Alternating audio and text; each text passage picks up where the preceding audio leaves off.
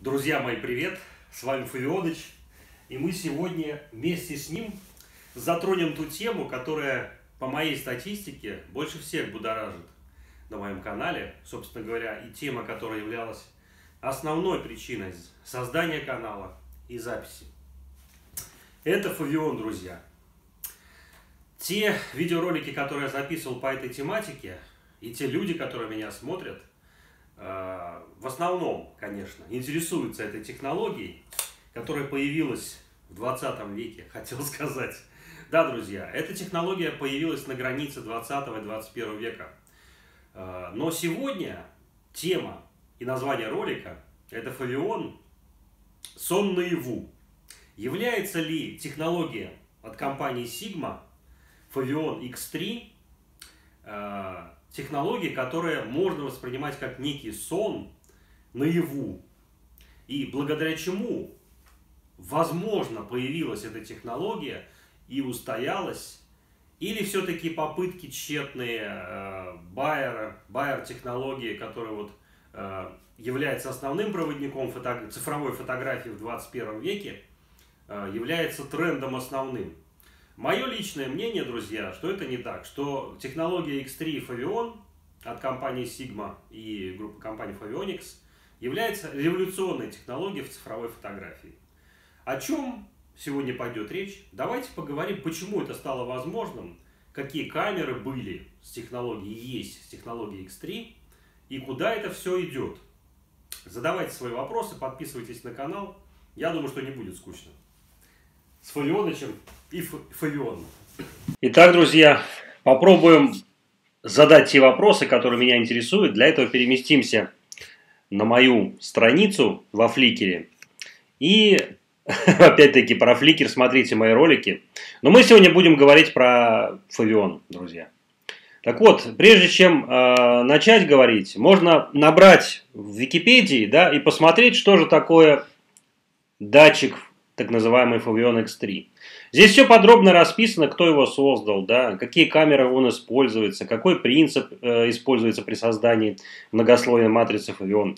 Плюс э, вы можете внимательно посмотреть и обнаружить, что, например, толщина этого датчика очень маленькая. И вот э, в Википедии указано чуть больше 5 микрон. На самом деле вот эта нижняя часть красная это больше 2 микрон, вот это в районе 2 микрон, и вот эта часть она меньше 1,1 микрона. Благодаря этому датчик действительно не имеет каких-то серьезных э, операций, но он стоит на грани них. Все это можно подробно рассмотреть и изучить в Википедии. Э, я же хочу акцентировать ваше внимание на то, чем он отличается от всех остальных датчиков, которые используют фильтр Байера, так называемый. И э, это кардинально изменит ваше понимание, почему Фавион стоит в стороне от всех цифровых камер. Посмотрите мои ролики, я рассказывал не раз, что это такое, что такое Фавион и что такое датчики Байера, как они отличаются. Но мы сегодня будем только касаться вскользь. Э, цель видео – задать вам вопрос, чтобы вы сами попытались найти свой Фавион. И здесь э, можно начать с э, самой первой камеры Sigma, которую выпустила компания Sigma в 2002 году. Ассоциация была представлена вот такая вот камера с размером, э, здесь указано 10 миллионов, но вы должны понимать, что в современном мире элементы пикселей указываются не реальный как бы элемент, который собирает информацию во всех цветах. Это и в Байере, и в Sigma все одинаково.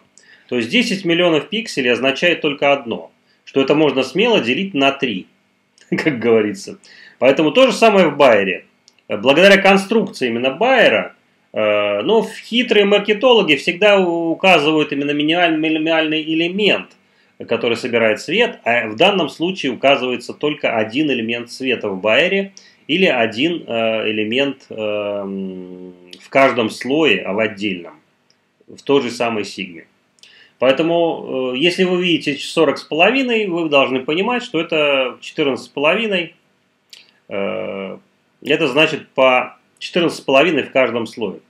Э, но Википедия нам по каким-то образом указывает на то, что разрешение камер Sigma оно на самом деле меньше, чем разрешение камеры Bayer. Между тем, все блогеры, которые используют Фавион, и те, которые касались Фавиона, замечают именно обратную ситуацию, что камера Sigma, имеющая разрешение, например, 14 э, миллионов, выигрывает у камер по разрешению, по реальному разрешению, которое видит глаз человека, э, те камеры, которые имеют у Байера разрешение больше 20 миллионов.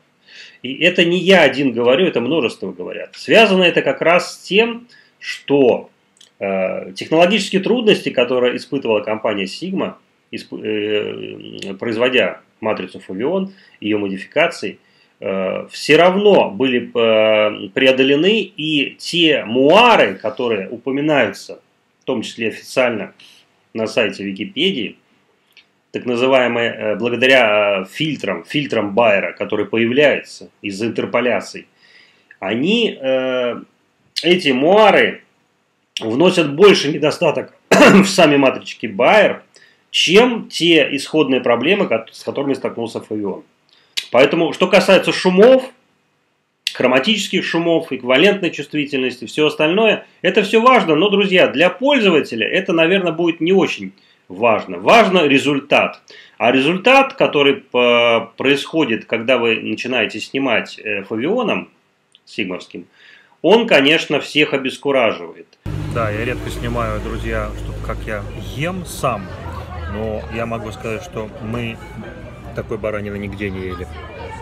Если отбросить э, сложности при съемке, медленность камер, все отбросить, а оставить только цель, а вы знаете, что э, все эти суммарные характеристики, конечно, вещь очень полезная, но, э, как говорил там один герой фильма, главный результат. Главное не резу результат, а не то, из чего вы там пытаетесь сделать. А результат настолько сильный э, в цветопередаче, в динамике цветов, микродинамике, что даже заядлые поклонники Байера всех производителей, там, Sigma, ой, этот, э, Nikon, Canon, Fuji, Sony, Panasonic, ну, все прочие, да, все равно они не могут э, ничего сделать с Фавионом. Поэтому сон, страшный сон, Фавион для этих производителей, я считаю, что он для них страшный сон. А является ли это э, каким-то волшебным сном для нас? Думаю, что для тех, кто пользуется Фавионом постоянно, как Фавионыч, это является полезным сном. Итак, друзья, но так было не всегда. Вы скажете, матрица Фавион, да, я упоминал, что военная разработка компании Favionix, которая потом была приобретена, и благодаря э, команде, о которой вы можете узнать в интернете, Дику Мирилу, да, который, э, к сожалению, ушел из жизни, но оставил наследие вот этот великолепный датчик. Скажете, только Sigma используют? Нет, друзья. Значит, на просторах интернета вы сможете найти информацию, что существует такая камера Polaroid X530 с сенсором X-Favion. Она была представлена в 2004 году и является таким компактным аппаратом с очень маленькой матрицей, 1,1,8, да? Ну, на тот момент, вы знаете, этот, этот размер использовали все компании, Sony, Panasonic и Canon. Поэтому выглядела она такая архаичная камера, как, в принципе, и все камеры, которым я в том числе и тоже пользуюсь. Видите, она очень похожа на э, A70 Canon. Здесь ее размерчики, компактная. Но, к сожалению, камера не выпускалась большим количеством. Э, здесь упоминается о том, что стоит X3. Единственный датчик изображения, который непосредственно захватывает цвет в трех слоях, как и цветная пленка. А, почему я об этом говорю? Потому что Polaroid является лидером и являлся лидером э, производства именно пленочной продукции, в том числе и технологии моментальных снимков. А, еще вы можете найти информацию, что некая компания Kodak тоже имеет отношение к производству и э, к экспериментам с многослойными матрицами. Информации на самом деле в интернете очень мало, и рыть ее придется очень долго, чтобы найти вообще источники появления самой матрицы Фавион.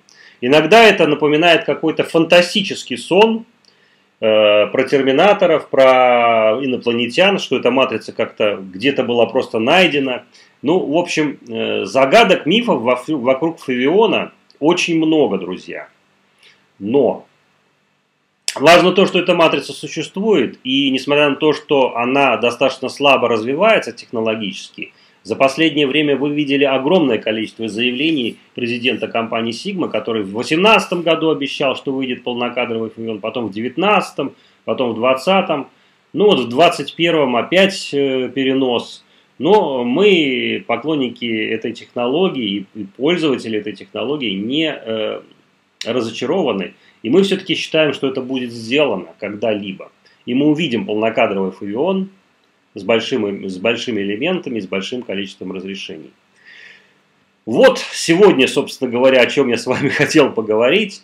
И для тех из вас, кто заинтересуется, что же такое фавион в руках и какие результаты получаются, я рекомендую посмотреть мои видео, мои ролики про то, на что способен фавион. А также зайти посмотреть мой плейлист по пейзажной фотографии, по стрит-фотографии, ну и другим жанрам, в том числе арт.